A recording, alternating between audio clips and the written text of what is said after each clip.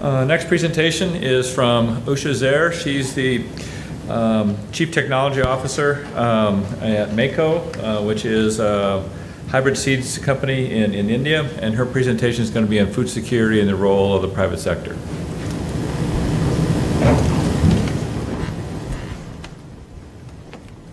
Thank you, Paul. Um, good afternoon, everyone, and thank you for making it in this room, even though it's raining out like cats and dogs. I was thinking about the rain, and I um, always reminded how water.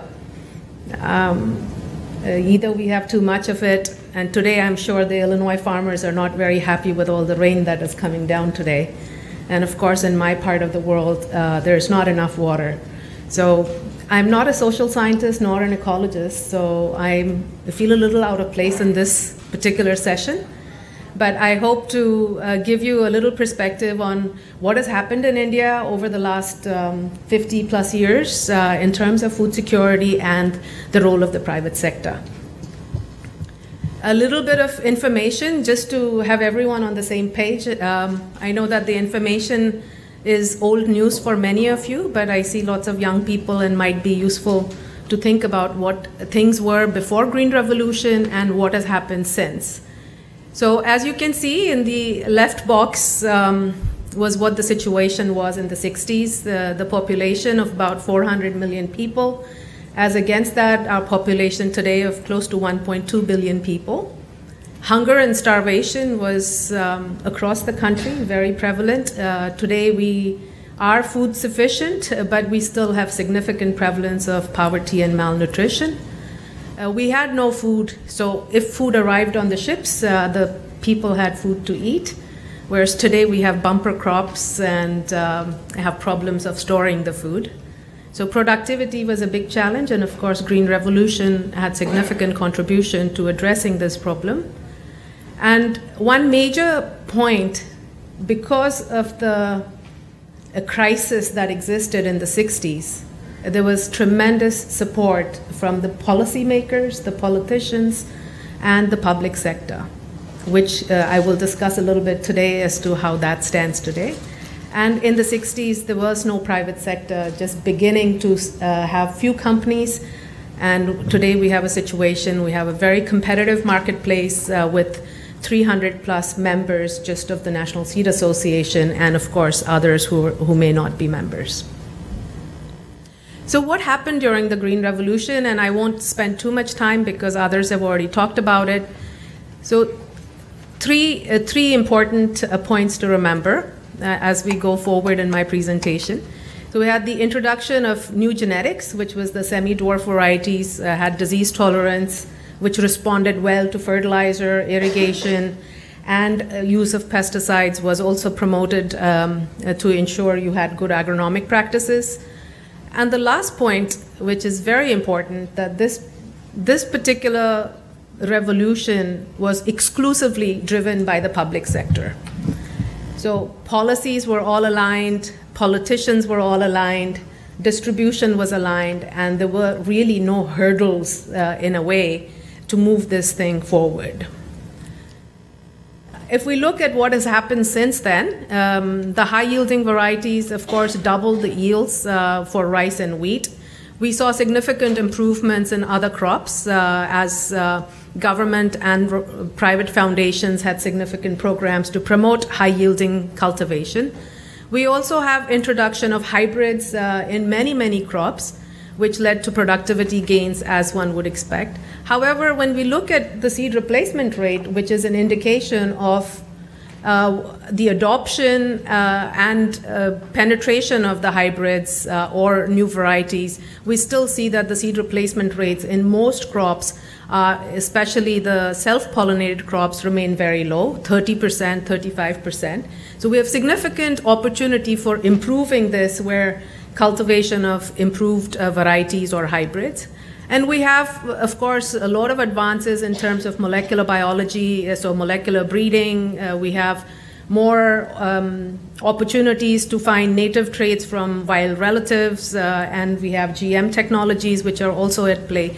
And more recently, an earlier speaker today uh, talked a little bit about that. How do we look at uh, the microbial uh, seed treatments and so forth to improve productivity?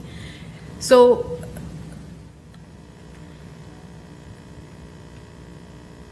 let's see. All right, my slides have. Let's. Hmm. Oops. Okay. Go back to that. Okay. Thank you.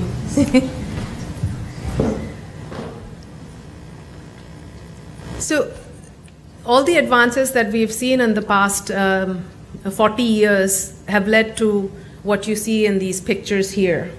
Uh, abundance of grains, especially rice and wheat. Uh, if you drive through Haryana or Punjab in, during the harvest season, either for rice or wheat, you will see these rows of trucks waiting to unload uh, the grain. And then the picture on the left that you see stacks and stacks of grain which are being sto- stored um, and not being distributed, but stored. And so the challenge then becomes every time you go to Delhi and talk about improving productivity, they said, well, the problem is not productivity, the problem is how do I get this grain out because everybody says that we have enough food.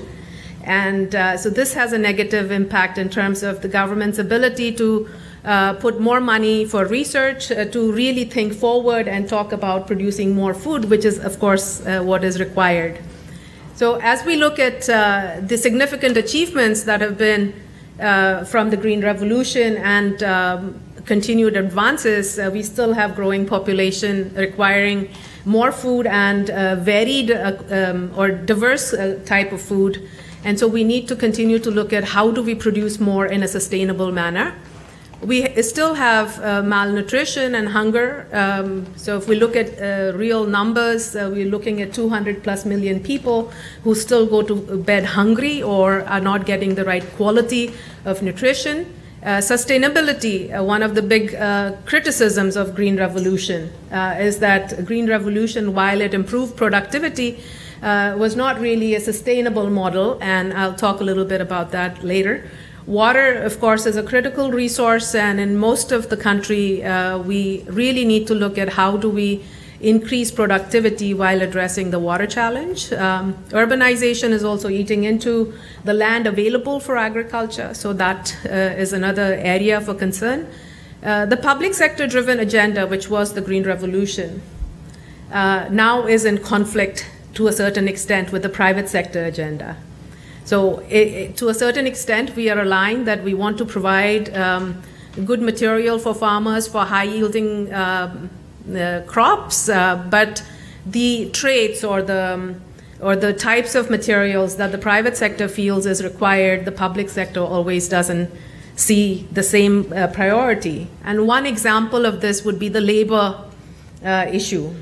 So, if we in any crop that you see, uh, the private sector and the farmer, and I include the farmer as a private sector mm, body because each farmer is trying to optimize their costs and uh, see how they can be the most profitable they can.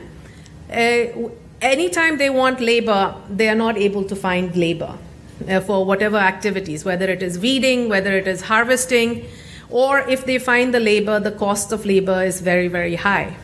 So the private sector would have an agenda as to how do we provide technologies which address this issue um, of um, uh, reducing labor requirement in cultivation. So be it weed control, be it um, better planting mechanization, harvesting, and so on and so forth. The public sector comes back on this particular issue and says, well, we are a population of 1.2 billion. How can we be short of labor? And so, anytime a proposal goes to the government to promote a technology uh, for weed control, they'll say, no, no, we don't, India doesn't need weed control technology. So, we have a little bit of conflict now in terms of what the public sector research agenda is and the private sector research agenda. So the focus of the private sector and the public sector are different uh, in terms of crops, in terms of geographies, and where the private sector is more engaged. So what I would like to focus on during my presentation is to talk about how do we leverage our strengths uh, to uh, provide, um, uh, have the best agriculture that is possible in the country.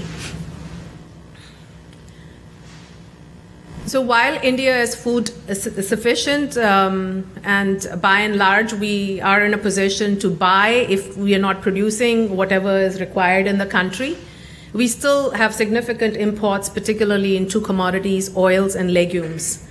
And uh, the earlier speaker talked about the vegetarian population, or if we had vegetarian diets, uh, we might have a different ecological footprint. Um, and in India, as it turns out, 50% of the population, or Ashok actually might have more accurate numbers, but is vegetarian, and so legumes, uh, chickpeas, peas, uh, pigeon pea is a very important component in the diet.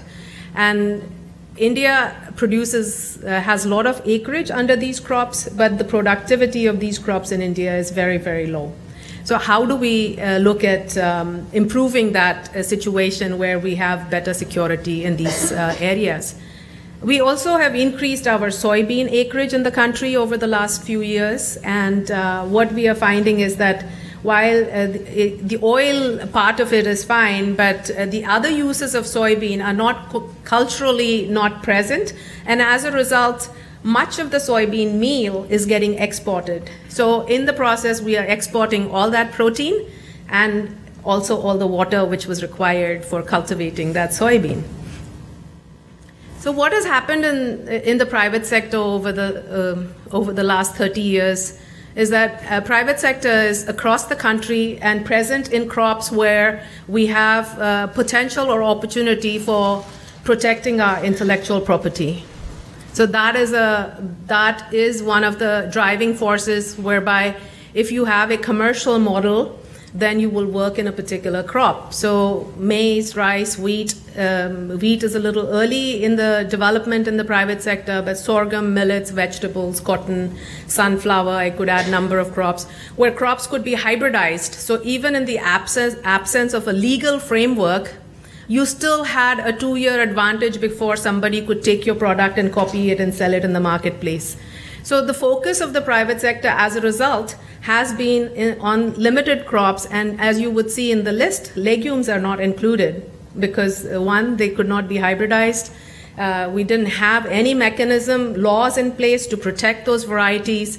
And what we have seen as a result now is that the productivity uh, per acre productivity in these crops where the private sector has been uh, present for last 15 20 30 years is doubled in many cases compared to when we started versus the legumes where the private sector has not been present and um, so this this creates again a, a bit of a friction between the public sector agenda and the private sector agenda in terms of how do you uh, address food security while uh, the, the public sector doesn't have the same incentives or need uh, for accountability.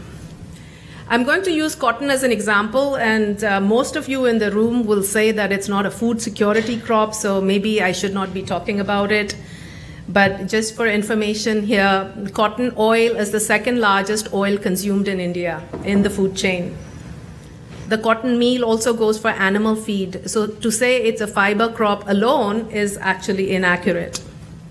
Uh, cotton happens to be a very important crop in India, and because of one single technology, uh, which is insect, insect control, uh, BT cotton, uh, cotton is the first crop where, after the Green Revolution introduction of technology, that we've seen doubling of yields in a particular crop in less than 10 years time frame. And uh, so I will uh, not talk about the technology or just uh, give you a brief uh, summary of what, is, what has this one technology done to the Indian cotton industry. So we've doubled our yields. India globally moved up um, from being number three cotton producer in the world to number two cotton producer in the world. Insecticide use has been reduced by 40 percent uh, we have um, adoption of this technology over 95 plus percent uh, acreage this year. Income went up for the farmer. Uh, almost 6 million smallholder farmers grew this technology. And when I say smallholder farmers, it's two hectares or less. That was the land holding of a average cotton producer. So earlier also, uh, David was talking about how the GM technology has been scale neutral, and this is a true example uh, of that. When we talk about sustainability, uh, looking at this technology, so I see three levels where you have a very distinct and clear impact because of BT cotton. So you have impact at farm level, so in terms of pesticide use, in terms of the energy, and in terms of the in terms of the residues. Um, so uh, the pictures here depict what a typical farmer does for controlling insects in their field. And if you look at it, you see that the exposure to pesticide, the way the pesticide is handled, the way the pesticide is sprayed, the farmer has tremendous exposure to all the chemicals that are being used. The farmers have seen a uh, rise in incomes uh, because of doubling of yields, and uh, the prices, uh, fortunately, have been pretty stable. And at the national level, uh, India used to be a net importer of cotton, so we've gone uh, to be a net exporter of cotton. Commodity prices have stabilized, and of course, the consumer even though the consumers uh, may not realize it directly, but consumer has benefited uh, tremendously. Uh, what has happened as a result of this increased yield, as well as uh, the labor shortage that I was talking about, is the requirement that the uh, farmers have now of trying to look at uh, alternatives to manually picking cotton, which is the which is the norm at the moment in India. So Earlier, again, one of the speakers was talking about how we change the plant architecture. Uh, and in this case, because of the labor requirement, labor shortage, as well as uh, improved productivity, the farmers are now demanding that the plant type be changed so it's easier to harvest by machine than have to go and do manual picking. So I won't go into the types that are required, but just to show how because of the technological intervention, the plant type anyway had changed, but now the requirement for additional changes to the plant morphology, which will make it more enable, enable it to be uh, more uh, mechanization friendly. Uh, here's a picture of um, a farming family of 10 people who typically grow brinjal or eggplant as a crop. You might be wondering what that 74 number is on the picture. 74 is the number of times uh, eggplant cultivator in West Bengal sprays their crop to control one insect pest, which is the brinjal fruit and shoot borer. 74 times for a 150 day old crop, which means that the farmer has to spray the crop every other day for them to be able to control the insect. Now, when we talk about sustainability, and uh, food production. And some have argued in India that uh, eggplant being a vegetable is not relevant for food security. I differ, but that is one of the arguments. But how can we not look at technologies which allow us uh, to address a problem of this magnitude 74 is, of course, a very high number, uh, which is uh, prevalent in the eastern part of the country, but across the country, an average farmer would spray about 27 times. So the pesticide residues which remain on the fruit, um, you can imagine what that would do. So we have developed uh, BT eggplant. Uh, brinjal is the Indian uh, word or Indian uh, term for eggplant. Um, and of course, uh, as you would expect, we have a reduction of pesticide uh, use on the trial plots that have been uh, grown. Uh, we have higher marketable yield because in case of eggplant, it's not that you lose yield, but you have damaged fruits which are not acceptable in the marketplace. So you increase the marketable yield impact and, of course, a monetary gain for the farmer. So interestingly, and here's the dilemma uh, that the public sector, private sector research component uh, comes into play. Um, the BT cotton technology and the BT eggplant technology have all, uh, and other technologies which are in pipeline, 95% or more of them come from the private sector. The public sector has not been able to introduce any GM technologies in India, which creates uh, tension and possible hurdles uh, for technology from the private sector to move forward uh, for the benefit of the farmer. Uh, Bangladesh, our neighbor, who also has uh, participated in this public private partnership that um, uh, involved Bangladesh, Philippines, and other public sector institutes in India, has taken a decision to move forward because the Indian government, uh, the apex body for biosafety clearance, has cleared the product. But then the political decision not to move it forward for commercialization until further something uh, is still pending in India, but Bangladesh has gone ahead and commercialized it. And uh, for those of you who are familiar with the region, would know that the Bangladesh, uh, Bangladesh and India have a common border, and our borders are pretty porous.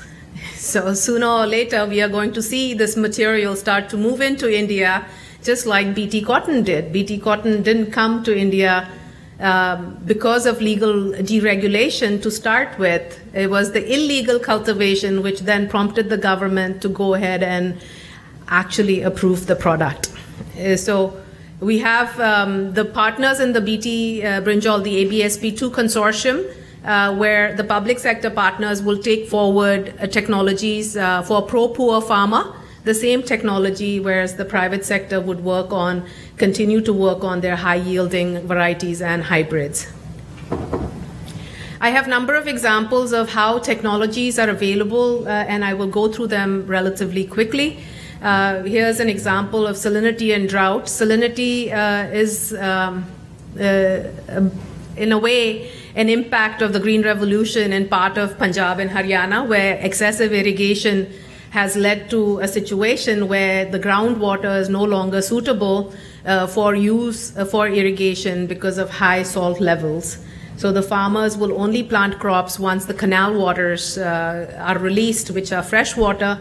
And so, if anything we can do for both the chronic salinity as well as the acute coastal salinity, uh, we would be able to impact yields in case of rice and, of course, other crops as well.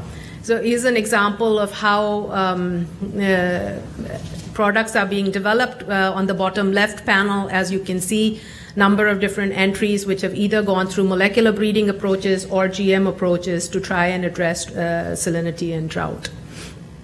Uh, the transgenic events and salinity tolerance, as you'd see on the right, uh, by the number of tillers that you see in rice in the salt conditions, saline watered conditions, are much higher than the ones which uh, don't have the tolerance uh, gene in them. Uh, very briefly, one of the things that we're moving forward with extensively is molecular breeding approaches and how do we apply high throughput um, automation for this uh, technology. So our costs come down and the time it requires for product development um, uh, reduces in terms of a final product. But in this particular case, an example of rice where rice is all transplanted. So if we can provide a molecular a genetic fingerprint of which rice plants actually should be transplanted to the commercial field or to our research field helps the breeders in making the choices of which would have the elite set of traits or characters that they're looking for. So this is uh, one of the opportunity areas where the private sector, who has made significant advances in India in these technologies, uh, can work with the public sector for crops which the private sector is not interested in but has the opportunity to provide either as a collaborative project on, let's say, chickpea, for example, and I will show you some examples of that. So, how do we le- leverage our complementary skills? Um, the private sector brings a lot of commercial expertise. Um, uh, but we do need uh, the public sector to continue to build capacity in terms of providing us plant breeders, pathologists, entomologists, and so forth, which we don't do. And our extension services, mm, if you ask five people in the country or 50 people in the country, I think every, uh, every person will have a different opinion about what the Indian Extension Service does. And so this uh, is a challenge and an opportunity in terms of how do we leverage uh, the capacity because we have a large workforce in the extension services in terms of agriculture officers and how do we get those get those to uh, work together. Molecular breeding, I was also mentioning. GM crops, another example where we can have uh, very strong partnerships for developing uh, traits and technologies in pigeon pea and chickpea, two very important crops where India spends um, billions of dollars importing these from other places. So chickpea has an insect problem which can very easily be addressed with BT, and that is a, a collaborative project that we actually have going on with Assam Agriculture University, and hope that this product will come to the market in the coming three years. Uh, similarly, uh, talking about sustainability and which traits actually will have a greater impact. So, nitrogen use efficiency is one such example where we have introduced a gene uh, in rice uh, for improving nitrogen use uh, efficiency. And as you can see in the picture, the preliminary results show that the biomass has increased and the biomass translates, uh, in this case, has translated into higher yields. And if we uh, apply 30% less nitrogen or maintain the same level of nitrogen, then you'll either get the same level of yields that you have today or increase yields and of course have a positive uh, impact on the greenhouse gas emission if you have reduced nitrogen application. Uh, and this is after harvest and it's much more clearly visible the number of tillers that you have in the rice plants and how that translates into final yield. So the opportunity that we have is that the private sector is focused on narrowly focused in some ways on few crops uh, the public sector, of course, continues to work on the other crops uh, that are very, very important for the country. So, how do we, how can we leverage this uh, for overall impact in Indian agriculture? Green Revolution doubled production of the two main crops, rice and wheat. Uh, BT cotton has been another example now where one technology has led to doubling of yields. But we really need to be talking about uh, how do we create this doubling effect in other crops, which we are not having a conversation on? We are talking about an incremental increase, one trait at a time. And we really need, maybe need to think about how do you do a quantum jump in some of the more, uh, some of the other important crops. Our pipeline is very strong. Uh, we do, I uh, don't feel that we are lacking for technologies or know-how. It's a question of having the right environment, facilitating environment which allows us uh, to actually take these technologies forward. So with that, I thank you for your attention.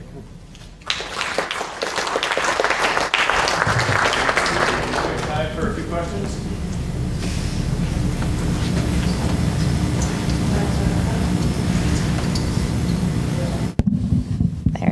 Thank you. Um, I have two questions. The first is you mentioned the improved safety of people working and also consuming the crops uh, with these improvements. So I wanted to know whether in addition to the the way you can develop the crops to be more safe if there are any initiatives or focus in the public and private sector about farmer safety and consumer safety from the point uh, from the perspective of applying pesticides and those kinds of things. And then also if you could talk just a little bit more about what that labor shortage problem is coming from so the chemicals which are sold in the country uh, all have come with a safety label in terms of how uh, what should be the safety norms that the farmers should practice, and the um, the salesperson or the shops which sell the chemicals also recommend to the farmers and in many cases provide gear for them to wear, wear have gloves on have shoes on have the maybe a white coat on and so forth but looking at the practical um, nature um, or practical uh, situation that exists on the farm, uh, when the cotton requires spraying, we are looking at um, a temperature which is in the excess of 90 uh, degrees Fahrenheit or more. We have uh, significant humidity. Uh, the farmers are not practicing what is being given to them, what is being told uh, to them. So the extension services actually can play a big role there to further promote that, but that is not happening. Now, interestingly, once, once the farmers started adopting BT cotton, there were some socioeconomic studies done uh, to see uh, how often did the farmer make a visit to a health clinic for uh, various uh, illnesses. And a significant reduction in visits to the health clinics was seen in farmers in India as well as in China. Uh, so whether uh, one one can attribute that directly to the reduction in pesticides used on the farm uh, is uh, is a positive impact of the technology. On the labor shortage uh, front. Um, so the problem is similar across the world. Uh, that youth don't want to work on the farm. Uh, the farm is not being remunerative enough for them to stay on the farm. Uh, Ashok may highlight some more things in his talk about this, uh, but so these are some of the challenges. Then, in addition to that, the opportunity for the youth to be engaged in other work then farming have also opened up. So whether it is retail, whether it is um, moving to the city, they're getting a little more education, they're moving to other jobs. And so, as a result, what we are seeing now is farmer, uh, the labor migration from either Bihar or Rajasthan going to some of the states uh, like Gujarat and Maharashtra and um, the local labor labor requirement is very very short. To give you an example, when the cotton picking starts, the initial rate may be seven rupees per kilo of cotton picked. But by the time you come uh, to the fourth, third picking, second picking, it'll already be at 15 rupees per kilo. And by the time you come to the third picking, last year the farmers in Gujarat were telling the labor that whatever you pick, you can keep half so that is the extent of the labor shortage that we are seeing. Other questions?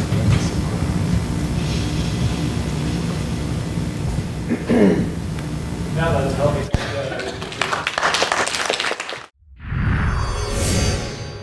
Illinois.